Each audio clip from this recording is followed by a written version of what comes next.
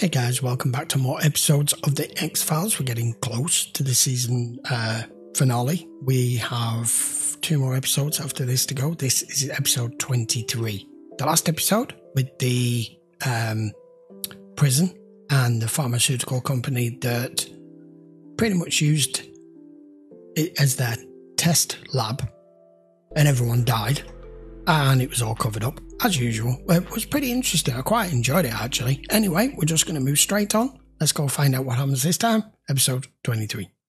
Morris, I need to talk to you. Gail Ann is dead. It's my fault. Morris, I need to talk to you.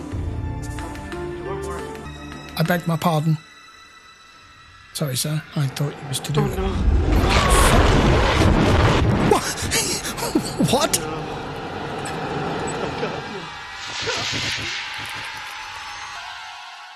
What? Agent Scully. Hi. Hi. This is Agent Mulder. Hi. Thank you for coming. Oh. Heard a lot about you. Patrick Newirth, age 52. He's a top executive with Missing. Morley Tobacco, up from Raleigh, Durham for a meeting. Morley. He arrived on an evening train. How do you know he's missing? Well, he said a wake-up call for 6 a.m. this morning. When the operator tried to place it, there was no answer. Windows? Locked from the inside. Good luck. six stories up, no fire escape. No way in or out of this room. Oh, is the ah? There we go. look So there's some residual, residual, What is it? Residual we don't know. traces. The hotel claims it wasn't here before Mr. Newirth checked in. That's burn mark. It's right where I'd be if I was standing here answering the door, right? He never Yeah. misses a trick, And does I he? wouldn't be looking out the people unless there was something to look at, would I? Because of the lack of evidence, this is still officially a missing persons case, not likely to end up on the front page of the daily paper. I wouldn't be so sure about that. Spontaneous human combustion? I have over a dozen case files. A human body is reduced to ash without any attendant burning or melting. Rapid oxidation without heat. What do we know about the victim? Margaret Wysnecki, age 66. Widowed, retired from Laramie Tobacco, where she worked production line for 36 years. M. Wysnecki, round trip to Hampton Roads, Virginia. Return train dated March 17. That's the same day she disappeared. Patrick Newirth came into town by train, didn't he? Get on the phone to your young detective and tell her to get a detail down to the train station. Some guy's dead. Is he causing this?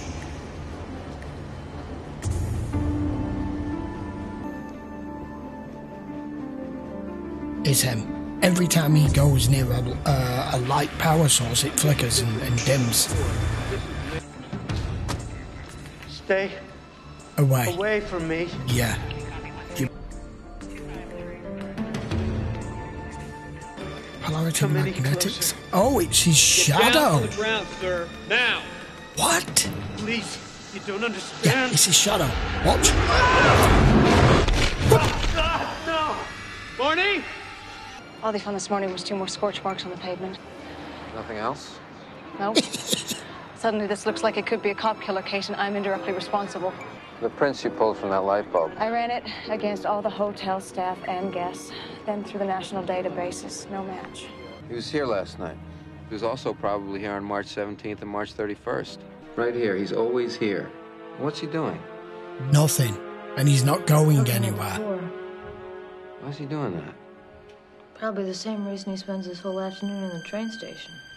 Okay, can you reframe and blow it up some more? No. Oh, I actually, no, he does have one of those machines. Fair That's enough. something on his jacket. Right? Polarity, Polarity magnetic. magnetics. That's where the first victim worked. Dr. Chester Banton. He was my business partner. You mean he's not anymore?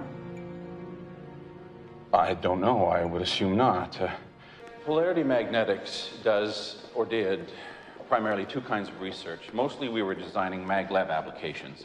For Chester, that was just a way to pay the bills for the really theoretical stuff he was interested in. Which was what? Researching dark matter, quantum particles, uh, neutrinos, gluons, mesons, There you go. quarks. Subatomic particles. This is a particle accelerator. One Wow. fifth the power of the Texas Super Collider in a space the size of a Walmart. Powered by what? a couple billion megawatts. Started the countdown when he realized he'd made a mistake. There was something that needed readjusting in the target room. I had left the room for a minute when Chester decided to go in. I didn't oh. realize until it was too late that the door had locked behind him. Oh my God As far as I can tell, it burned Chester's shadow right into the wall. When I looked at the monitor and saw what was happening, that Chester was trapped in here, I panicked. I cut the power, but it was too late. Whatever it is, it's connected to the person of Dr. Chester Ray Banton, maybe even part of him. Why are you listening?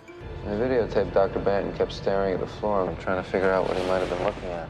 Look here, there are hardly any shadows cast. What do you mean? Oh, that's what he's doing, Scully. Soft light. I There think he that's is. what Dr. Banton was looking for. Looking for a shadow? No. Just leave me alone. We're federal agents, Dr. Banton. You don't understand. You're making a big mistake. Stay away from me. Don't. It'll kill you. It doesn't care who you are. But it has something to do with dark matter. It has everything to do with dark matter. My shadow isn't mine.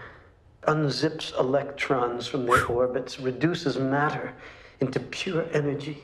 Damn. That's how Damn. you killed Gail Ann Lambert? Wasn't me. He didn't kill him. Gail Ann was my colleague. You have no control over it? If I could control it, do you think I would let it go around killing people? There could be nothing left to tether this thing. Excuse me. I thought it was I'm gonna have tethered to to ask you. you to discontinue your interrogation of the suspect. But no one seems to be able to recall inviting the FBI in on this case. Agent Mulder and I are here strictly in an unofficial capacity. We were called in as a favor. And as a favor, we just handed over the A-bomb to the Boy Scouts. I'm sure all the necessary precautions will be taken. And I'm sure that Robert No. Oppenheimer got similar reassurances from his government, the same government that Dr. Banton is afraid of. He's being held by the Richmond police in connection with several bizarre murders. He's a physicist, researching quarks, gluons, dark matter. He believes the government is out to get him Where is he being held? at the Yale Psychiatric Hospital, but not for long. The next time the blood and regret could be yours. I'm not at your beck and call, Agent Mulder. Stop it with the I have and nothing to dagger. gain and everything to lose by helping you. We're here to transfer Chester Ray Banton. See? I have orders he's not being transferred until tomorrow. Found a Due yellow to the power right on the outage, there's been a change of plans. Who are you? No, don't do this. Please. Ah! Ah, and there goes another two. Oh, he picked up on it quick.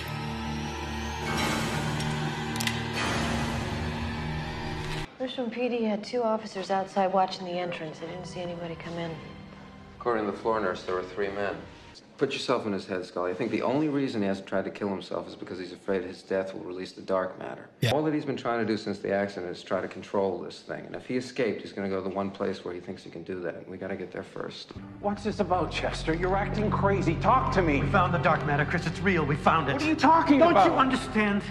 I'm it. No, you can't go back in there, Chester. Police! I'm placing you under arrest. Oh, God's sake. I said step against the wall. Now. She's gonna die. He's gonna step forward. Yep. Gonna stop her. Ah! And she's gone.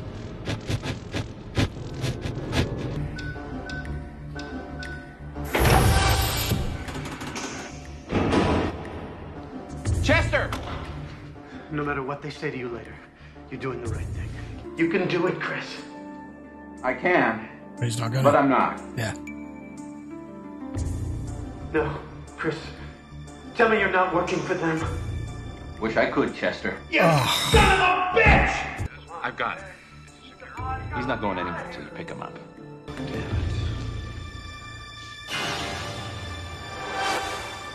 she's just a stain. Scully, look at this. Come on.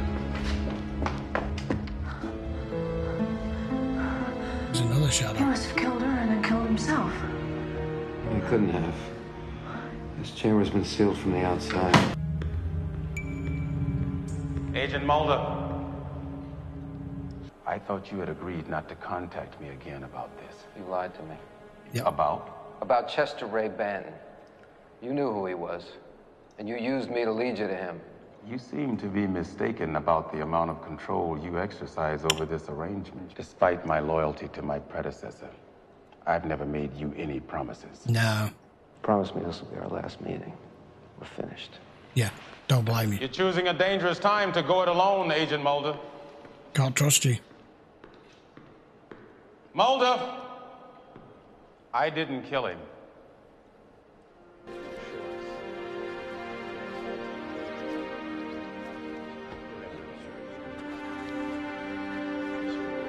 Nobody. Missing person report was filed this morning by Dr. Morris West. He's a physicist affiliated with Polarity Magnetics. Do they have any leads or know where he might be? They've got him. No, none. But you do. I've been wondering, what if it wasn't Banton we saw in the particle accelerator? Well, if Banton's not dead, then where is he? Oh. Dr. Davey would have been helpful to us. We'll be studying this man for a long time.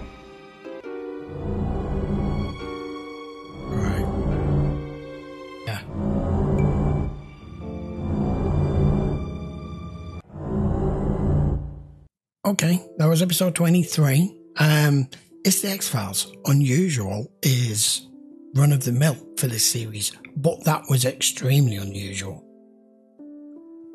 And I hadn't even considered that at the end. When when it showed him in the particle accelerator and they killed the other the other guy, I heard the sniper thing. I didn't whether it was a sniper rifle or whether it was a tranquilizer. But either way, Mr. X cannot be trusted. I don't blame Mulder for doing exactly what he's done here, and I think he was right. He already knew who this guy was. All you did was lo- was you know give him their location. Um, I mean, the worst part of this is not only all the amount of people that died from it, including Scully's form, one of Scully's former students, and she feels responsible. They've got nothing out of it, which is normal. um, you couldn't explain it to anybody, and accident and no accident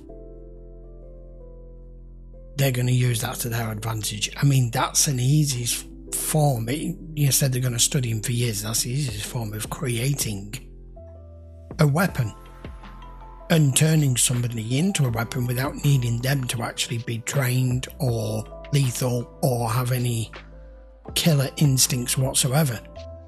All they need to be is part of the experiment and whether they're going to try and reverse engineer that or do anything else with it, God knows. This is why Mr. X can't be trusted, and he's just said it himself.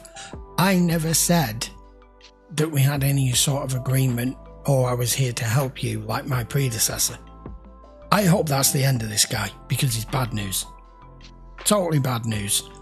I liked how Mulder always works it out. Even at the beginning of this episode, he's going into a crime scene armed with whatever information they have at the time, which to begin with was very little to go on. Just someone's vanished out of a hotel room, no evidence, no murder weapon, no no signs of breaking, no signs of anything, and he starts looking around for the out of ordinary that no other trained officer or investigator would even think of. They'd be looking for signs of fingerprints of someone breaking in, someone breaking out, a murder weapon. They'd be looking into their background for motive, and none of all that mattered. So Mulder just takes that, puts it in a box, moves it to one side, and says, Right, think out the box. What else is out of the ordinary in here? And that's what I like his, his inquisitive mind and open mind that he has enables the two of them to be able to investigate half of these cases. Because if you handed these to a normal investigator, just like Scully's new um, police officer, she, she, it was her first case, handed it to him because the rest of them didn't want to deal with it because it made no sense. None of them are trained to even think or work in this manner, and and it's fascinating watching watching his out of the box scenario mind work. Right, um, we will be back with episode 24 next. If you want to watch this in full length, don't forget, as always, it will be available over on Patreon. The link will be in the description. And if you're watching this or as an edited version, don't forget it's available not only on YouTube, but it's also available over on Odysee. I'll also put the link down here somewhere especially if any of these episodes get blocked at a later date, they tend to still be live over on Odysee as it's a mirror channel. And if you're not already subscribed, we are about to be heading into season three of the X Files. We've still got plenty more to go. I would appreciate it if you hit that like and subscribe, and I will see you for episode 24 next, which is the penultimate episode to this season. There's 25 episodes in this season. They are long seasons. That's why it's going to take us substantial amount of time to get through this, but I'm enjoying them. Really enjoying them. Okay, guys, see you for the next one. Take care.